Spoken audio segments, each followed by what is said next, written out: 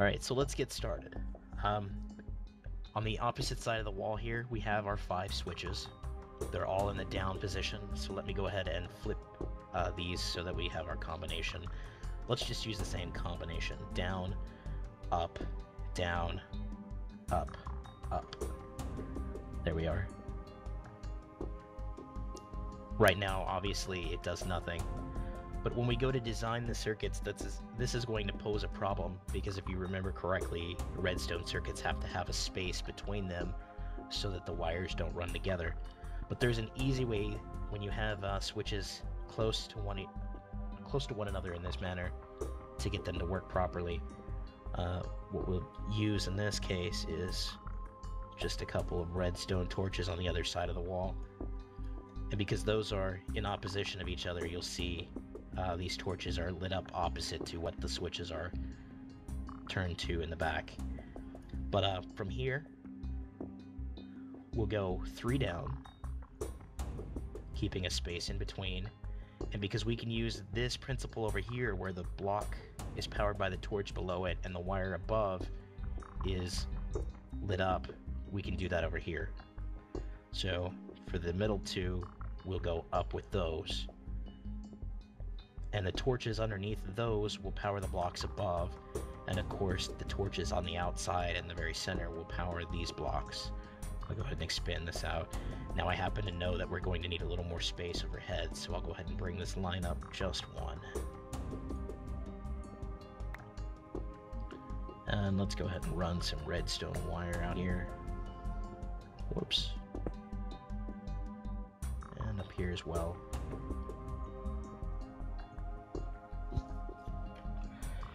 And then the next thing we're going to do, it's, um, as I mentioned, it's a series of AND gates that are all interconnected so that in the end we have just a single output that runs to the door. When it's on, the door's open. When it's off, the door's closed, obviously.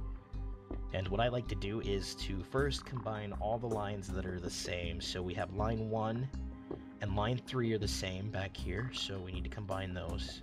And they're actually on the bottom here, and they have um, they're right next to each other, so I think they're perfect candidates for being our first AND gate.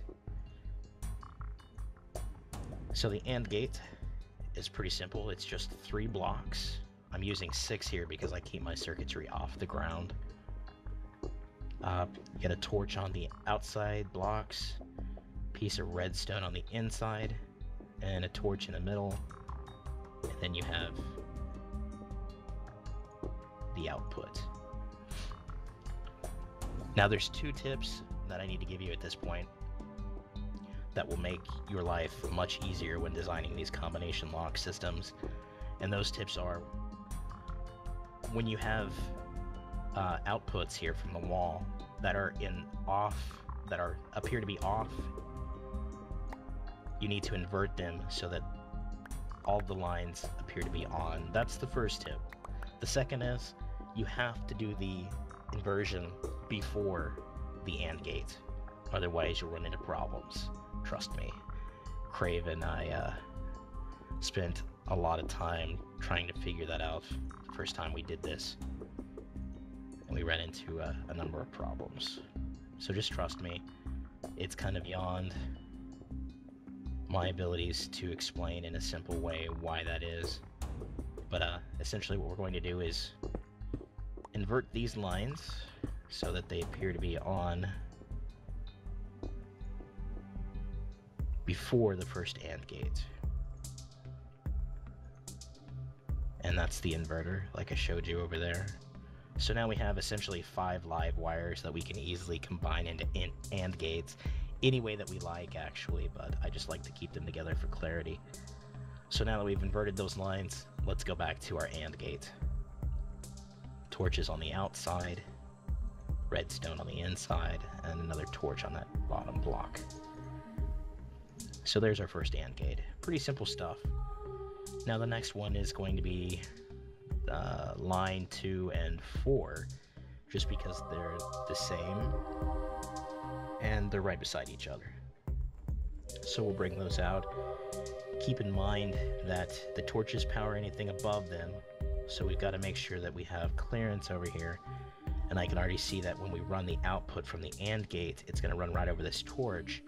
So I think what we should do is just bring this straight back. Let me get some more cobble here. And we'll just put our AND gate here.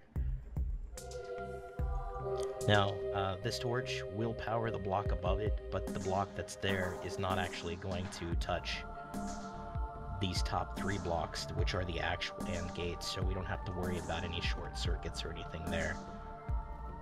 Two torches on the outside, redstone on the inside, and another torch on that bottom block. And then we can just run that out like that. There's our second AND gate. Pretty simple so far. Let me run these lines into that AND gate so it actually works. And now we've got to make a decision as to how to get this fifth line connected to this top AND gate because again I keep the lines that are the same in this case 2, 4, and 5 are all the same direction as far as the levers are concerned. Um, instead of running this line up into another AND gate here and then going back down, I think we should just bring this output down and bring this output over and run them together on the ground. I think that would be the most, uh, the easiest way to do that. Just want to make it clear that I enjoy just watching you build instead of helping you. I know, I usually relief. do all the work anyway. I'm kind of used to it. But you are the camera guy, and uh, that's what you get for having a better computer. So I run these line down. I trim out the bottom uh, blocks here that weren't necessary, just so they don't catch power from another line or something and cross. Those types of problems are the one that'll keep you scratching your head for hours trying to figure out why your circuitry is broken. Um, Alright, so we need to bring this out like this and create another AND gate. Torches on the outside, redstone in the center, and a redstone torch in the middle there. You should know how to do this by heart now.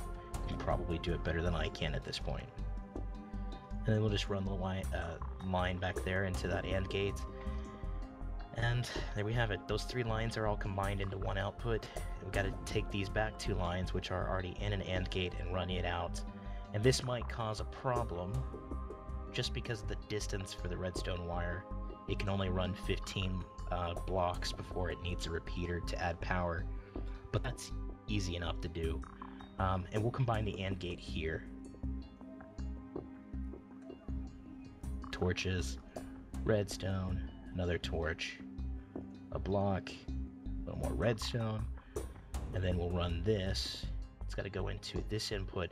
Now on the AND gates, it doesn't matter whether you do the input from the side of this block or on the back of it it'll still receive power to the torch. Obviously, you couldn't run it in this side because of this torch here, but uh, it makes no difference how you actually run that into the block.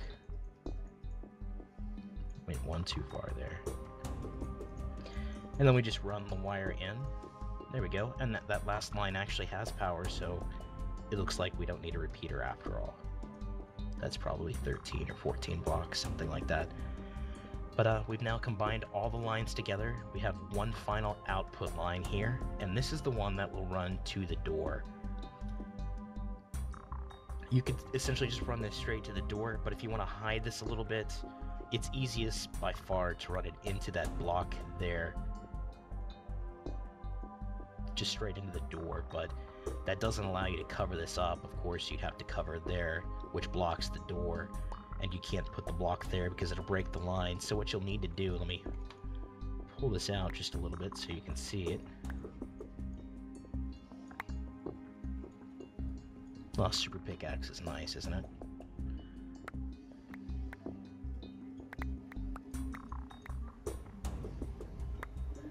Now, to get the power to run up into this block, we're going to use um, a torch. You can put the torch just like that because it powers underneath. But if you run the line like this, you can't actually invert the signal using another torch or an input like that. So what you have to do is um, Actually, I forgot what I did on this side over here. This is part of the problem with just waking up, not thinking correctly. Oh, yes. Actually, go down one more block. And then run the line from the bottom like that into that block, which will power that torch. You'll watch. Um, it reverses the signal. And then we can just run this redstone wire up in this manner. Can line this up properly. Oh, I'm out of redstone. Uh-oh. Better go mine some some more. more. Uh, I'll pass, thanks. I'm sure they don't want to watch that. Now that line is not going, it's going to be way too far, so I'm going to have to put a repeater in there. I'll just throw it down there. But, um, notice that the output here is off, but the door is still open, which means that this is kind of reversed when the levers are, uh, when they're, um, switched it's actually the reverse. So what we need to do is put an inverter in here. I'll just put it here. Throw a block, a torch. There we go. Now the door is closed. Down, up, down, up, up. But that's actually, that's correct. What did I do wrong? Oh, I think we've got one torch. Yes, this isn't working here. Oh, I know what the problem is when you run it into the side directly like that, it doesn't work. So what we have to do is bring this line back one.